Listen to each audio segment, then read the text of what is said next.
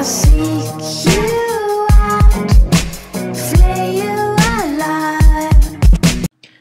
guys, Pogo here, and welcome to the next episode of Bukkit Coding. In this episode, I'm going to show you guys how to regenerate blocks that were uh, destroyed in an explosion.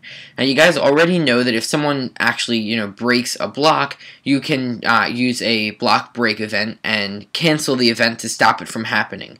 Uh, but today, I'm going to actually show you how to regenerate blocks after they have been destroyed in an explosion. In order to do this, we're going to use the uh, entity explode event, which is called whenever an entity explodes. Uh, it could be a creeper, which is what we're going to use. It could also be TNT or anything else that call that causes an explosion would uh, cause this event to be called, and then we can actually go ahead and regenerate the blocks. So let's go ahead and first write out the um, method. So this is uh, an event and we're gonna just call it uh, on entity explode and this is an entity explode event. And we're gonna call it E. Make sure to import everything. Now what we're going to do inside of here is if you take a look at E dot you'll notice the first thing that shows up is block list which gives you a list of all of the blocks that were involved in the explosion. And obviously since we want to deal with the blocks that's what is important to us. So we're gonna go ahead and uh, do an, a for loop for block B in e.block list. So we're going through all of the blocks that were involved. Make sure to import the Bukkit block and not the Minecraft block. So we're going through every block that was involved in the explosion. First thing we need to do is say final block state state block state state is equal to not new. It's equal to b dot get state. We need to save the state of the block so that we can use it again uh, a little bit later. The next line, this is optional. It depends on um, whether you would want to use it or not. Uh, but if you go ahead and say set type to material dot air, what this will do is um, it, this is going to uh, stop item drops from spawning spawning. So if you set this to be air, it's going to make all of the blocks air before the explosion actually happens, so that when they explode, uh, you know, nothing will actually drop. If you remove that line, then any block that explodes will drop its droppings like normal. Uh, so if you want to stop the item drops, uh, from spawning, then you would set it to be air. If you want them to still show up, but you just want the regeneration, then you would remove that line. I'll leave the comments in there, so if you're looking at the code, uh, you can easily be able to tell.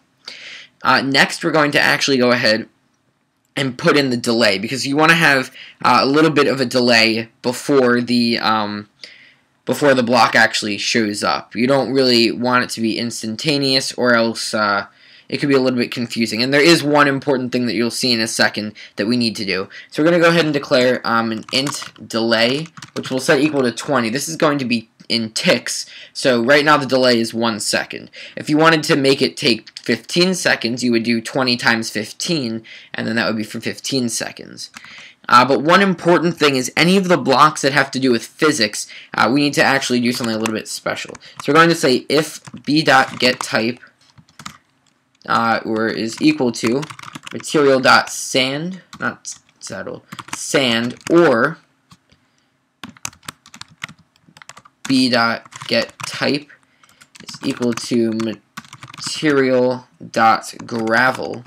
Because these are the two um, blocks that are actually involved with physics.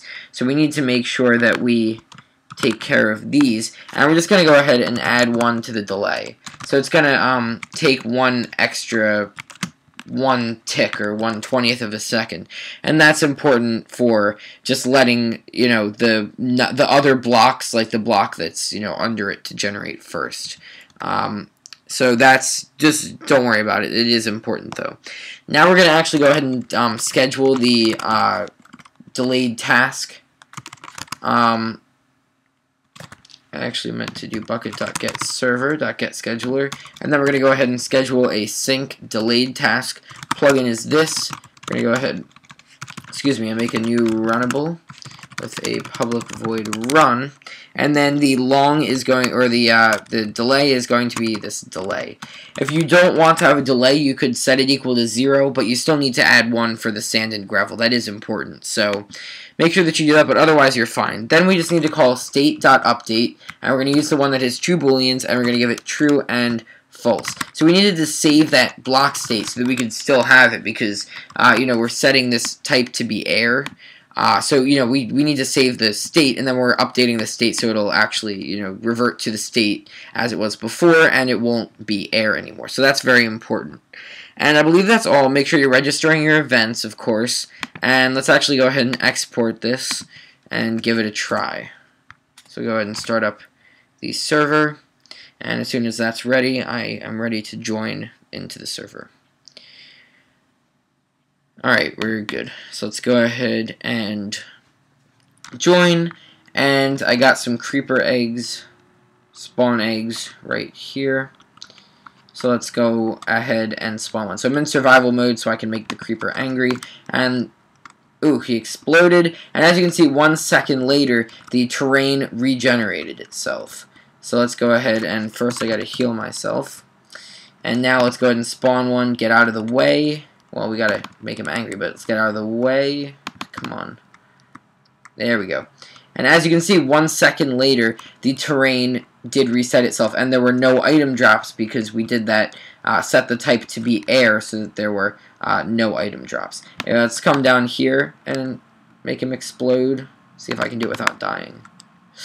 Alright, and then as you can see, even on the ice, it still, one second later, immediately fix itself. You could, of course, make the delay, as I said, later if you wanted to take more than a second to come back.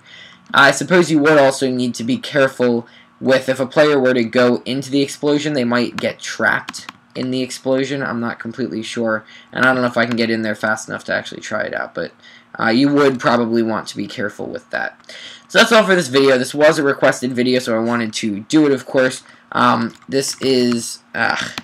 uh, this is uh, automatically regenerating blocks that were destroyed in an explosion. You know how to do it if a block is broken. Uh, if the block explodes, then you got to do something a little bit more special. Uh, you could also do, um, you know, rig up a little system where it'll actually regenerate the blocks one block at a time, and maybe have it generate a couple blocks a second, so it almost looks like the terrain is rebuilding itself, which could be pretty cool. Uh, as always, subscribe if you want to see more, comment with what you want to learn. If you like this video, uh, click the like button, and I'll see you guys next time uh, with some more coding videos. Bye, guys.